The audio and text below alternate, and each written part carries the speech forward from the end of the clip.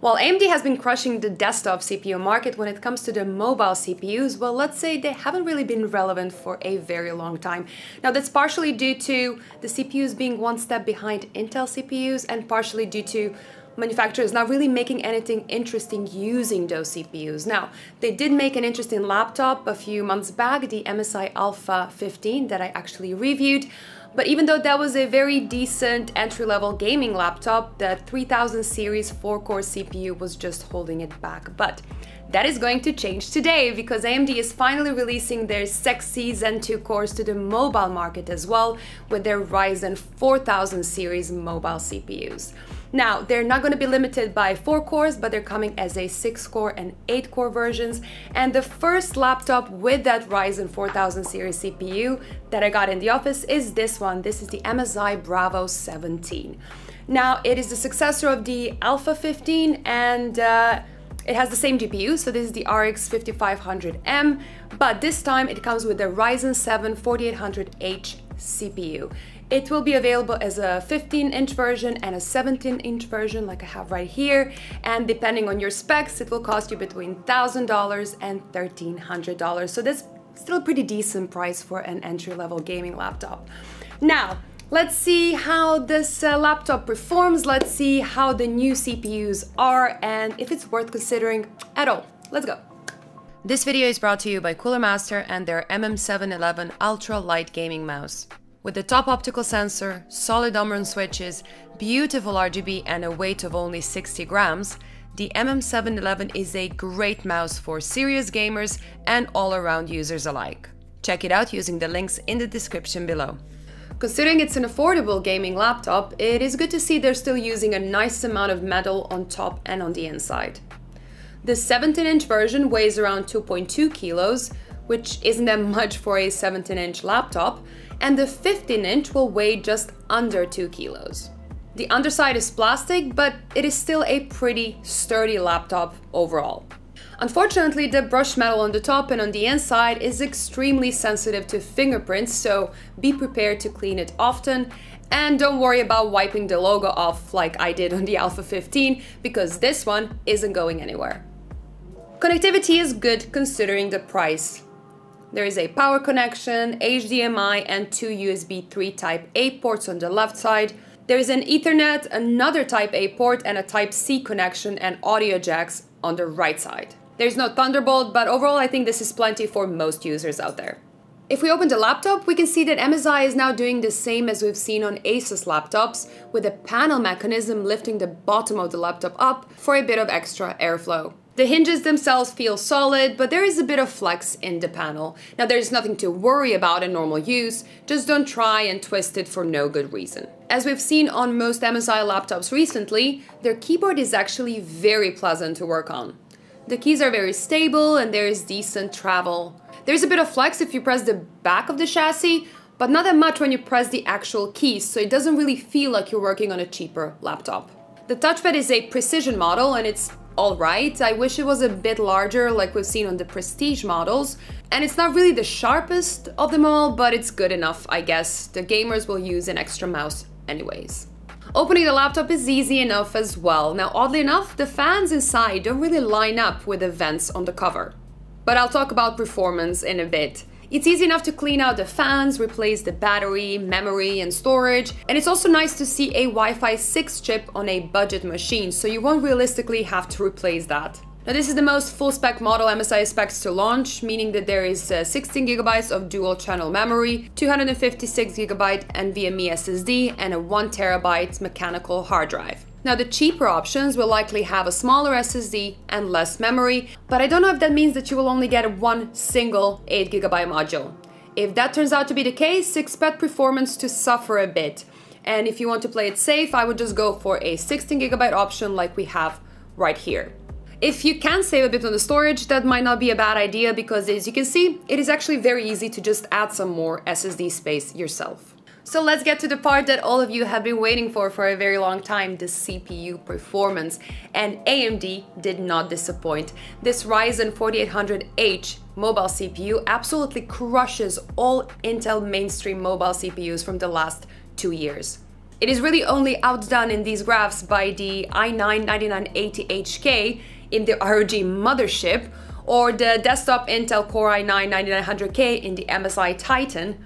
And those are both very expensive laptops with extreme cooling solution pushing those CPUs to the 5 GHz mark. Even if I put it in a graph with desktop CPUs, it just holds up really well, outperforming a desktop Ryzen 7 2700X, for example. And if you want an affordable laptop for CPU-heavy tasks, this shows a lot of potential. Now, considering the fact that this is one of the cheapest laptops in my list, seeing it offers one of the best CPU performance results is just fantastic. Of course, this is an 8-core CPU, while most of Intel CPUs in this list have either 4 or 6 cores. I cannot really show you the performance of the new Intel CPUs launching in a couple of days, but let's say Intel will have to do something very special to make AMD's results here anything less than a very, very competitive, especially at this price point. When it comes to gaming, since MSI is sticking to the same RX 5500M GPU that we've seen in the Alpha 15, it's those results I mostly want to compare it to, and that way we can see the difference that the new CPU makes. Now, depending on the game you're playing and the settings, we see sometimes up to around 50% improved frame rates. AAA titles like Division, Far Cry, and Assassin's Creed are notoriously CPU heavy and show much better results now. Where Odyssey struggled on the alpha, even on medium at around 40 FPS, suddenly it's playing super smooth at 69 FPS average. And it will of course have no problem keeping uh, 120 FPS or more on lighter games like CSGO or League of Legends in case you were worried about those games. As you would expect from any affordable or basically any gaming laptop out there, it does get quite loud if you play games in performance mode. Now MSI is choosing performance over noise, letting the CPU run up to 90 degrees to maintain that nice 4 GHz stable in CPU stress test, or 3.6 GHz if you stress the CPU and GPU at the same time, and there the GPU will hit around 80 degrees Celsius, well, well within spec. Gamers will definitely want a headset for gaming considering the noise during CPU and GPU combined stress tests, but thankfully it does remain nice and quiet under lighter loads. And considering the speakers are actually quite nice, for a laptop that is, they offer plenty of volume, so you shouldn't worry about noise if you want to watch a movie or a series on your laptop every once in a while. Now, of course, the battery life also isn't that amazing either, even if you're just watching something. Now, the Bravo does allow you to switch between the dedicated RX 5500M GPU and the built-in Vega graphics on the CPU. But even in the super saver mode, using the CPU graphics, you will only reach about 3 hours of watching Netflix or similar light use. Now that is good enough for a gaming laptop at home, just don't really use it as a laptop to take to school or to work.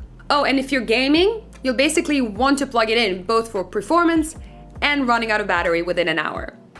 So one thing I haven't talked about is the display and while Alpha laptops had a Full HD 144Hz panels, the Bravo actually has a Full HD 120Hz panel.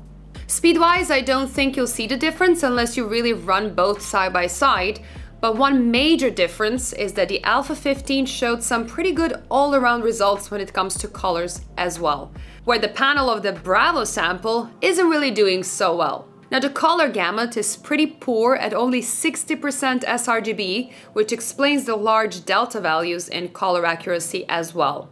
Also the maximum brightness is low at 240 nits. Now that's enough for indoor gaming, but not really great outside or in a very light room. Now MSI told me this is a pre-evaluation unit and the display is not final yet. And considering the most retail MSI laptops I've seen so far, they all had great panels, so that does sound likely, but it still is something I want to point out right now and something I will want to confirm. So as soon as I test the final units, I will add the results of those to the description down below. So I'm gonna split this conclusion in two and talk about first the uh, CPU and then about the whole laptop. And when it comes to these new mobile CPUs, I would say they did to the mobile market the same thing they did to the desktop market. And that is, after years of Intel dominating, they came in and they crushed it. So this Ryzen 7 4800H offers a ton of performance, both single and multi-core, and it shows that it can be cooled sufficiently by even a budget chassis. Now it's really hard to compare the prices because you cannot really purchase the CPU separately, but it's quite obvious that AMD is offering these CPUs for a much lower price to vendors than the 8-core uh, Intel CPUs because Right now in the Netherlands, if you want to buy an 8-core Intel laptop, it will cost you 2200 euros, while this Bravo 17 that also has 8 cores will cost you half as much. And that's great news for anyone looking to buy a nice gaming laptop or a nice powerful workstation. Now, I can't really talk about the performance of the new Intel CPUs that are coming in a few days, but I would say this performance at this price point is something truly special. As for the MSI and the Bravo 17, well, this laptop is a great example of why we should be so excited about these new mobile processors. Now, first, it is very important to remember that Bravo is still an affordable gaming laptop with mediocre battery life, a fair bit of noise while gaming, and it doesn't really have the most jaw-dropping design. It's also lacking some fancy stuff like Thunderbolt connections, etc. But its main weakness is gone.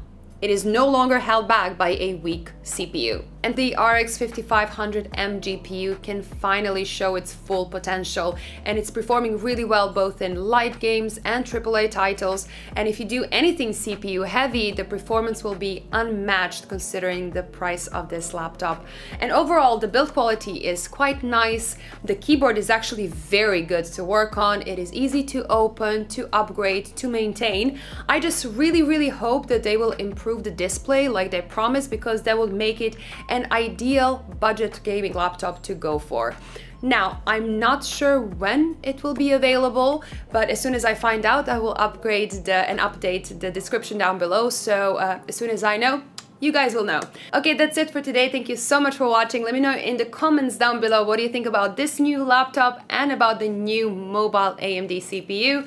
Don't forget to subscribe, give me thumbs up, and see you in the next one. Bye!